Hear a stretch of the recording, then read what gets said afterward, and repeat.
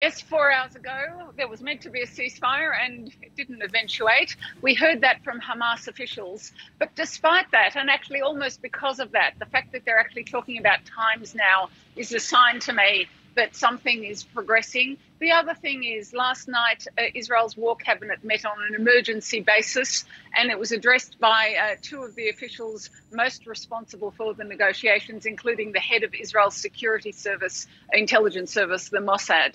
We've also heard in the Israeli media today that a Palestinian Hamas leader in Gaza, uh, Yahya Sinwar, is now back in communication with Qatar, the mediators in this deal. He had cut off communication uh, over Israel's entry into Shifa Hospital. That's now resumed. So I think all of these things are signs now. We're hearing from players, the Qatari Prime Minister, Israel's ambassador to the US not just journalists. We're actually hearing from players that a deal is imminent. So I would say it's edging closer.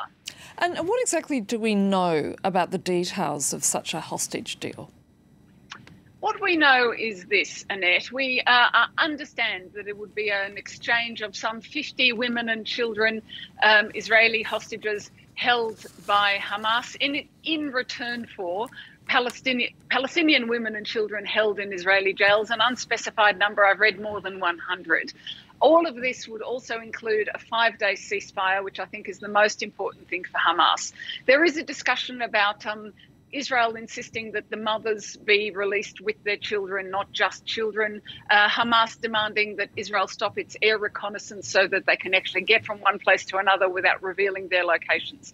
But as the Qatari Prime Minister said, those seem to be details. The principle uh, is now in place. So I think you and I just have to watch to see if and when this deal actually will come through on those terms or others.